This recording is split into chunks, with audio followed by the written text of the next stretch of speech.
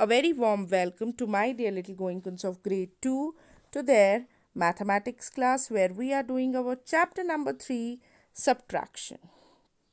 Dear Goenkans, we learned subtraction means taking away and the subtraction sign is this minus sign.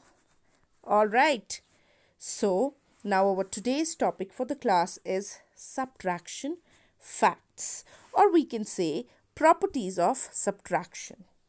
Dear Goenkans, you will refer to your mathematics book page number 39 exercise 2 and there you have to complete your question number 1 that is based on the properties of subtraction that is the facts on subtraction. Now before that let us see what is a fact. Fact is a truth which has been proved. Alright? A thing that is known or proved to be true. Alright, dear Goenkans. Now, let us see this sunrise. And the sun rises in the east. And this fact has been already proved. Isn't it? The sun rises in the east. We all know. And this is a fact which we cannot change. Okay, we can remember we cannot change a, change a fact. A fact cannot be changed. Now, similarly, we have some facts related to subtraction.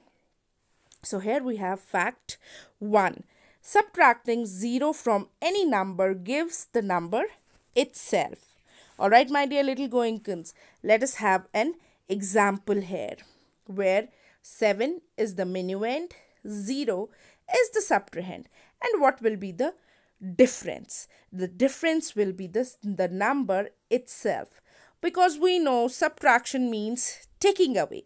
Now, if I am having 7 burgers and my sister came and she took away none of them so, I am left with 7 burgers. Alright, my dear little Goenkans. So, here we have one more example where the minuend is 100, the subtrahend is 0 and the difference is the number itself. Alright, because here nothing is being taken away. So, now let us have a look at fact number 2 subtracting a number from itself gives 0. Alright, and the example here is where 9 is the minuend, 9 is the subtrahend, and the difference is 0. Let us have an example. Ali has 9 chocolates. His sister came and took away all the nine chocolates.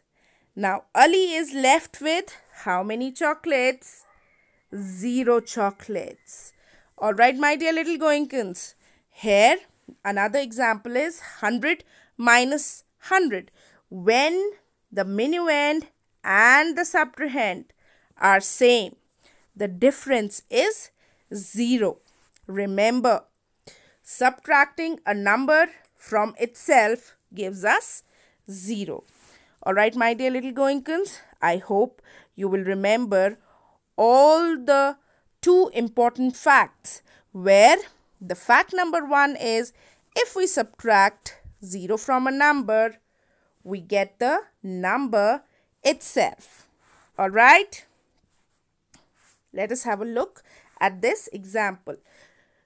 211 minus 0 and the difference is the number itself.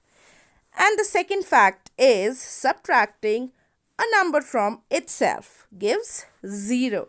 So here 211 minus 211 the difference is 0.